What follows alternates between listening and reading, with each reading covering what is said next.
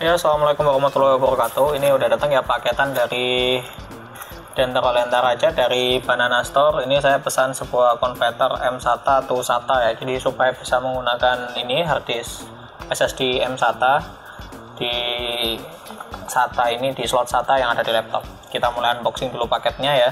Jadi uh, ini kiriman paketnya sederhana aja, jadi simple.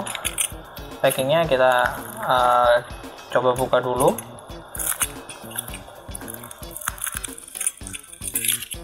Gunting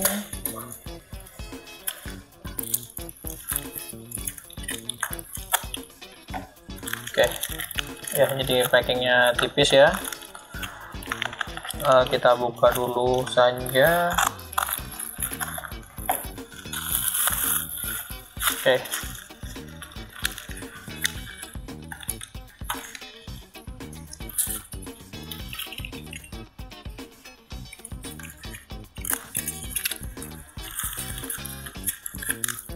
Oke, jadi ini packingnya.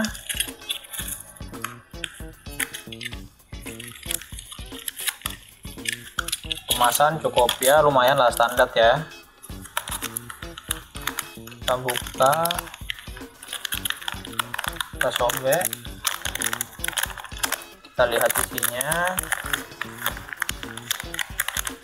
Ya, ini jadi uh, ini adalah konverter M SATA ya, supaya bisa dipakai di SATA ini supaya ini bisa nempel di SATA kita akan langsung coba saja. Kita buka dulu. Ini sudah ada harddisk SSD M SATA untuk testing. Coba kita buka dulu. Bismillahirrahmanirrahim. Oke jadi ini made in China. Ya oke kita semua sudah tahu ya. Ini kita pasang. Bismillah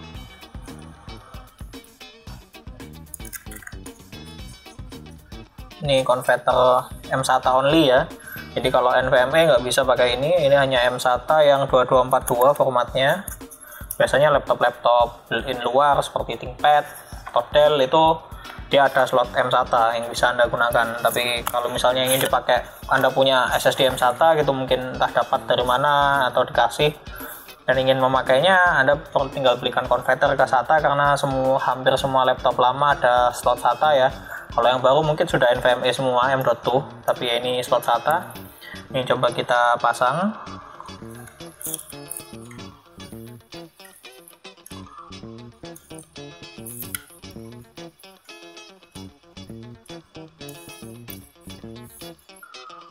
Di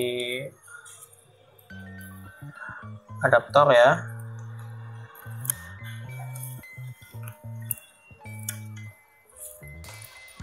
oke ini mungkin ketebalannya kurang pas. Coba kita ganti dulu aja. Atau ya uh, coba ini kita lepas dulu. Kita coba pasang.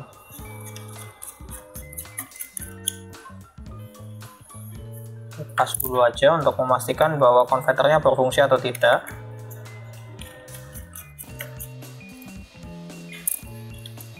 Nah ini ya ini coba kita colokkan. Ini udah ya. Lalu terakhir kita testing di laptop. Ini kita langsung pasang di laptop untuk testing ya. Bisa dicek ini nyala. Tinggal kita cek apakah di sini terbaca. Pertama-tama tinggal buka ADD Sentinel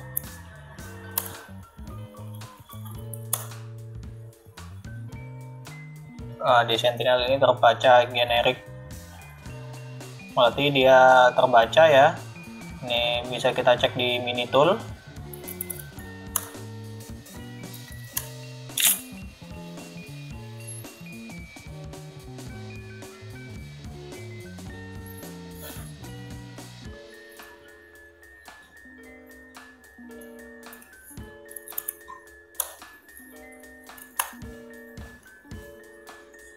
kita cek di aplikasi mini tool nah ini bisa dicek ya terbaca dia.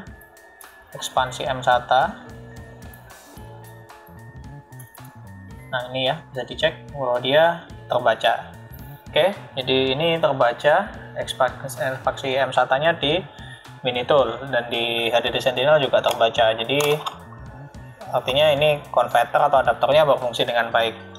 Di sekian ya video unboxing dan unboxing dan testing unboxing, testing dan review singkat tentang konverter M1 atau SATA. Anda bisa check out di Tokopedia dengan harga kurang dari 50.000. Kalau Anda ingin linknya atau ingin Anda, anda ingin beli, misalnya ada teknisi butuh uh, ini, nanti linknya saya kasih di deskripsi video. Sekian video dari saya. Terima kasih. Wassalamualaikum warahmatullahi wabarakatuh.